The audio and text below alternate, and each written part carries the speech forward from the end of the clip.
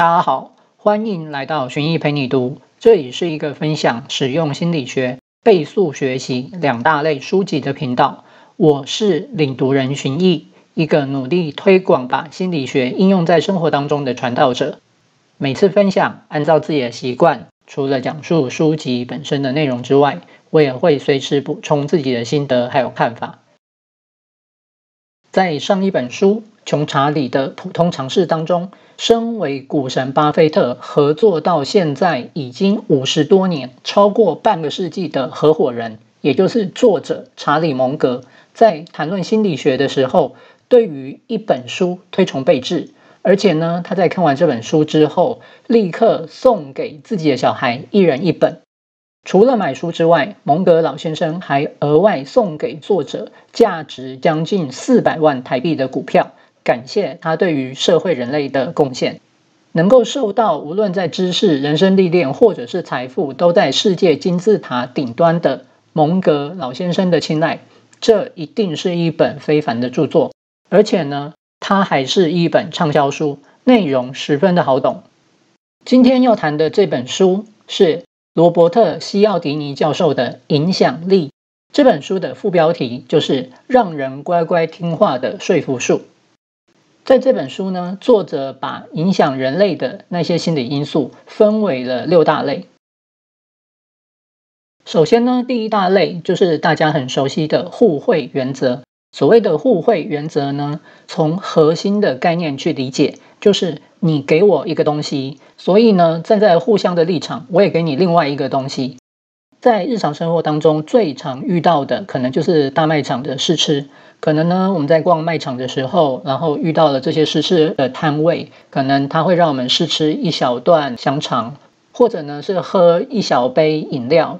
在这里呢，因为我们从试吃上面得到了一个小小的好处，所以呢，我们可能会愿意停下脚步来听一听贩卖员的说明推广，也可能在东西其实还不错的情况之下，然后就很冲动的受到影响就购买了。还有另外一个长辈，可能常常都跟我们说，人情债是很难还的，在人家帮了我们一个忙之后，我们通常会挂在心里。会想要找时间把这样子的一个亏欠给还回去，所以呢，这个也是互惠原则的这样子的一种运用。再来，还有另外一种，家里有小朋友的最知道了。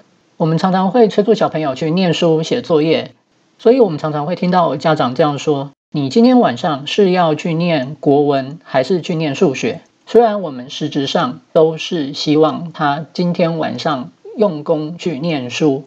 但是对小朋友而言，他就是有一个选择权，国文或者是数学。当他接受到大人给了他一个东西叫做选择权之后，他也会比较容易的去给出一个相对应的回应，叫做我今天晚上会念书。那至于国文或者是数学，由我决定。在 NLP 这样子的实用心理学里面，把它叫做双重束缚。也就是说呢，我要对方第一个就是你今天晚上就是要念书，然后第二个你可以从国文或者是数学当中选一个。所以呢，这个就是对方就是按照了我们的要求去做事。还有另外一种大家在日常生活里也非常常遇到的，叫做杀价，或者呢还有一个很类似的就是借钱。如果有人向我们借钱，一开口就是借十万，我相信大部分的人听到都会犹豫，可能都会拒绝。可是呢，在他提了这个十万这个数字之后，经过讨价还价，最后我们会借给他的可能就是一万块。你开了一个价格，你给了我一个价格，但是我拒绝了你，所以我在潜意识里会产生一种可能是亏欠感。或者是产生一种观念，好像我可以给你一个比较少金额的这样子的一种回应，所以这一个也是互惠原则的这样子的一种应用。当然，刚刚讲的就是开价、借钱金额这样子的事情，它也包含了所谓对比的这样子的一个新的因素在里面。在面对互惠原则的时候，我们可以怎么样防护自己、保护自己呢？就是我们可以在心里面留一句话，就是免费的永远都是最贵的。再来，影响力的第二个原则叫做一致性原则。一致性原则，我们最常经历的就是我们会要求对方把他的承诺给说出来，而通常一般人对于自己说出来的话，也会比较愿意、比较容易去做到。一旦对方愿意把他的承诺说出来，相对来讲，达成的几率也就会高很多了。因为要人去违背他所说的话，那个在心里来讲是会有些难过的，是会有些困难的。然后呢，在一致原则里面，还有一个很常听到的，就是得寸进尺。意思是呢，我们可以请别人先帮我们一个小忙，然后慢慢的去扩大自己的要求。例如说，我们在前一集里面就是谈到借钱这件事情，一开始可能先跟你借五百，然后再来借一千，最后你可能。你就会借他五万块、十万块，这个就是得寸进尺的一种展现。在 NLP 这一类的实用心理学里面，很常提到一个延伸应用，叫做三个 Yes。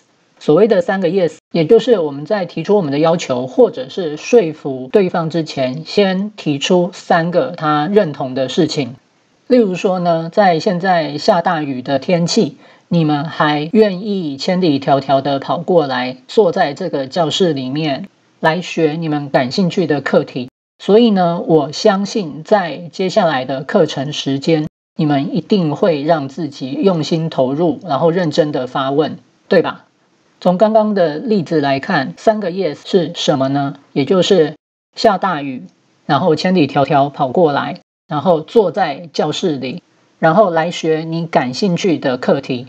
这样子其实就有四个 yes 咯，就是听众在听到这四件事情的时候，都会不由自主的点头说：“哎，对，哎，没错，你讲的对，就是下大雨，是的。然后我千里迢迢跑过来，没错。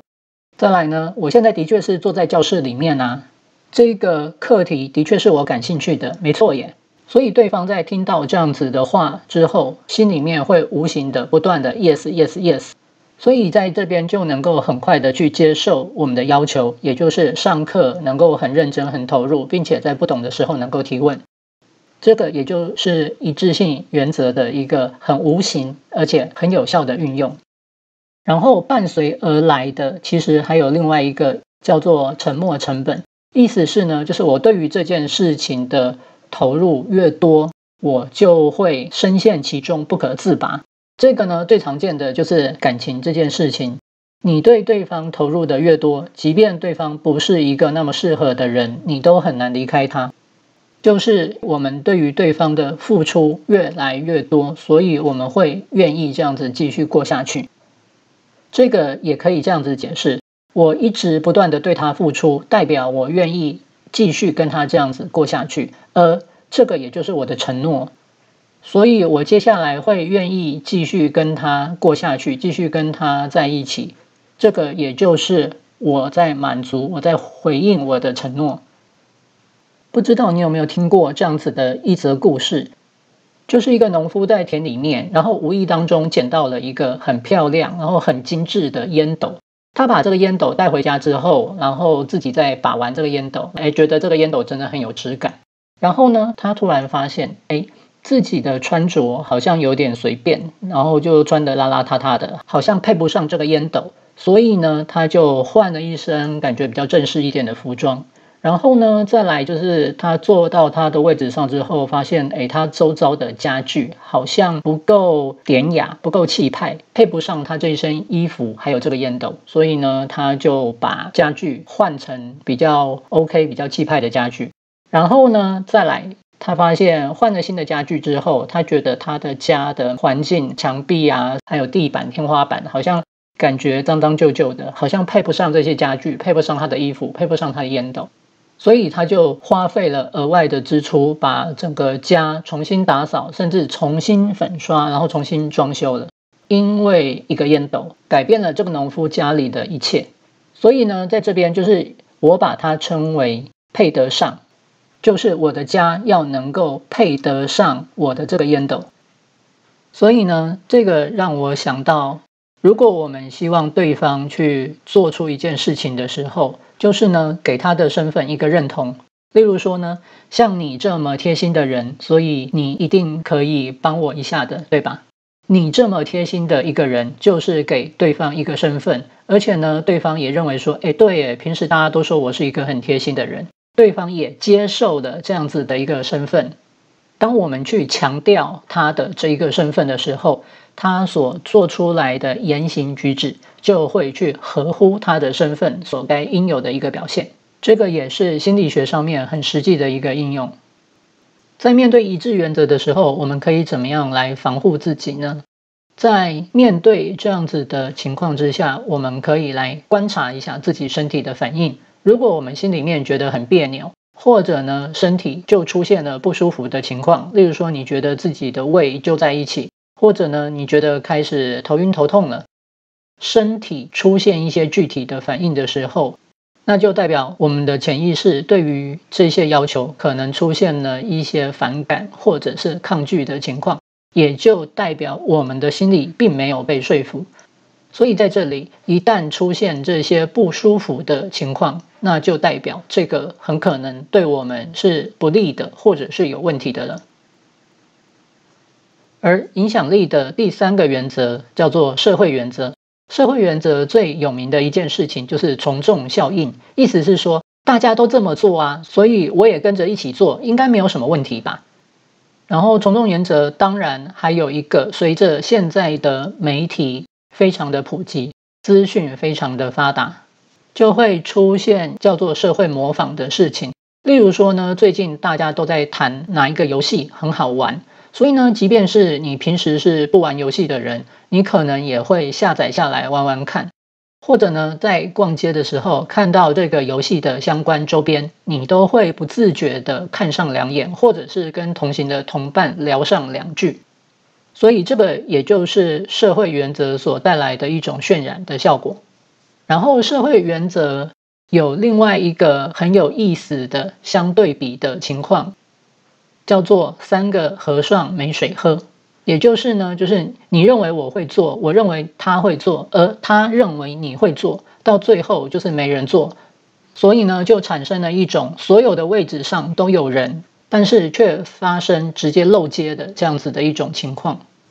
还有另外一种很类似的情况，就是可能有人在路上受伤了，结果呢，每一个在旁边经过的路人都认为说，应该会有人帮他吧。应该有人会打一一九吧？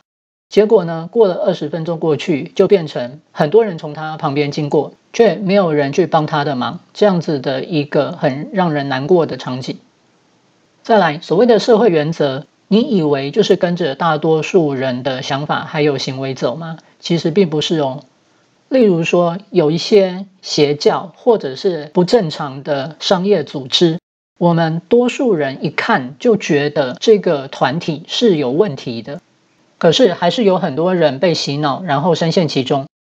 这就是这些团体把这些被害人，也就是被洗脑的人，把它限制在一个范围里面，无论是实体的环境范围，或者是心理上的一个小范围，叫做只有我们这个团体的人才会关心你，其他外面的人对你很冷漠，甚至会想要占你的便宜。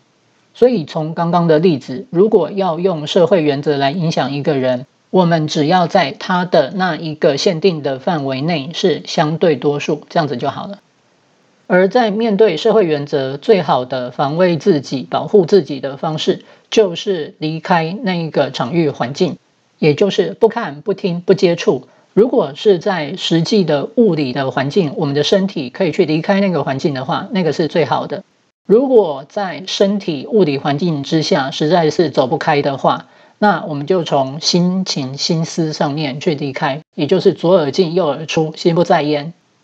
透过不接触这件事情，才能够让我们被影响的层面来到最小。再来，影响力的第四个原则就是喜爱原则、喜欢原则。这个在我们上一集《穷查理的普通常识》里面，其实已经提到很多了。大家喜欢的人，那个人通常会有很高的影响力。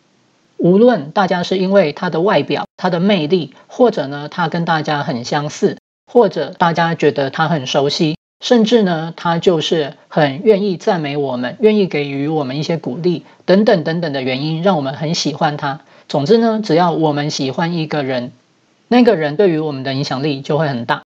在这里，我想要对喜爱原则做几个延伸。第一个延伸呢，叫做怎么样的情况之下可以让两个陌生人最快建立起默契，或者是最快建立起交情呢？那个最好用的方法就是去找到共同的敌人，因为有共同咒骂，或者是共同要去对抗的对象。例如说呢，上班族什么时候感情会最好？大家一起躲在茶水间，然后骂主管的时候，感情会最好。有了一个共同的敌人，我们彼此之间会更加喜欢彼此。再来，如果喜爱这个心理因素遇到了另外一个非常有效的心理因素，叫做对比。那会发出怎么样子的火花呢？这个我们最常听到的就叫做黑脸跟白脸。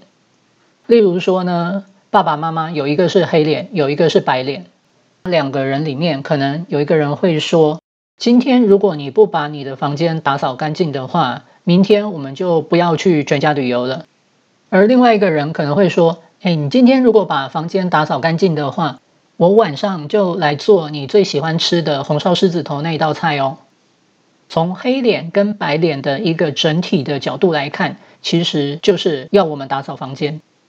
我们只要做了，就是满足跟回应了对方的要求。当然，多数人所选择的会不自觉的、无形当中去配合那个白脸的要求。再来，关于喜爱原则，还有一个很有趣的，也是很重要的，也就是多数人会喜欢那个带来好消息的人。这个在心理学上面叫做波斯使者效应，带来坏消息的使者很容易被迁怒，很容易受到处罚，甚至被杀掉；而带来好消息的使者很容易被奖赏。这个告诉我们什么样子的心理应用呢？就是尽量让自己成为那个带来好消息的人，或者呢，做一些些正向的延伸，也就是让自己成为那个说出正面事情的人。哎呀，王太太。听说你的儿子考上台大了，真是超厉害的！你教的真好，可以告诉我你是怎么做到的吗？面对喜爱原则这样子的一种心理因素，我们可以怎么样来保护自己？就是我们可以从理性的角度来分析，他突然对我那么好，是不是对我有所要求？或者呢，我们可以这样想：长时间所累积起来的好感，通常是比较坚定，而且也是比较可靠的。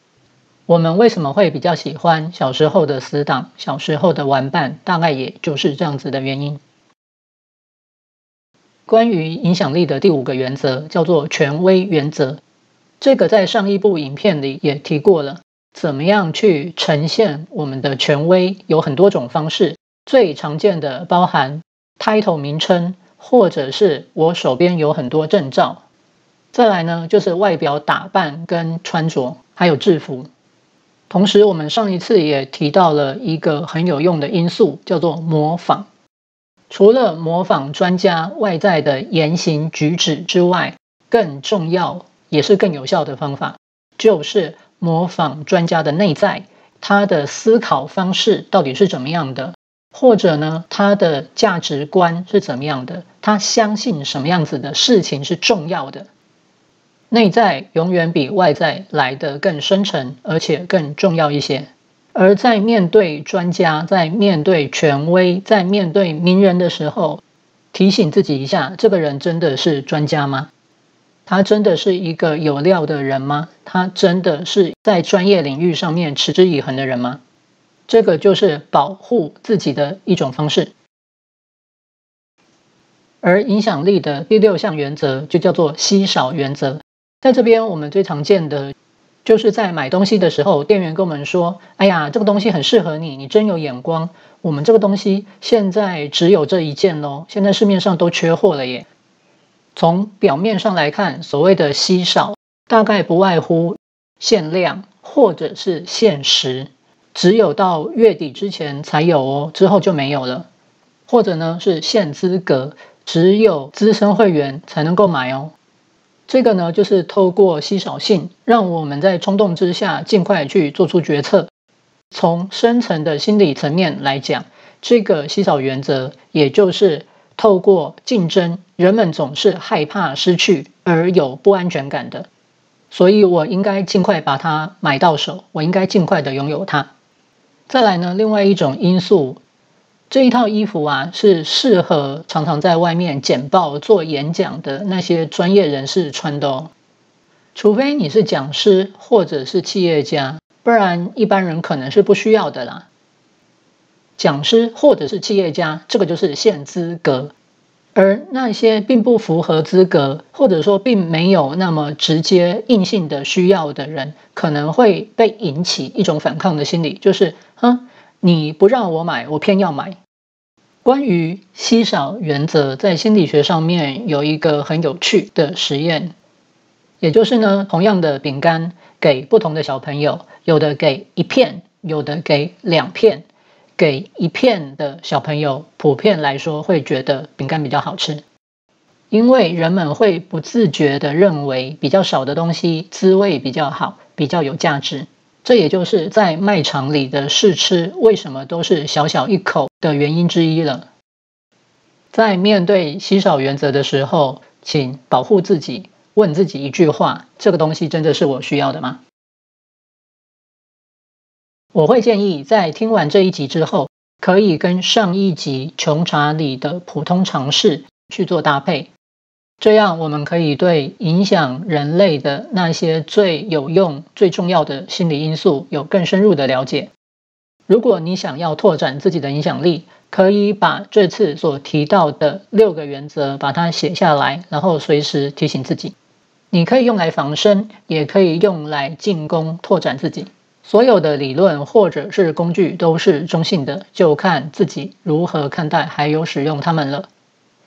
如果要我用一句话来总结这本书，我会这样说：学会影响力，你不会天下无敌，但是绝对能让你在人群之中春风得意。我是寻意，陪伴大家寻找你的幸福如意。我们下次见喽。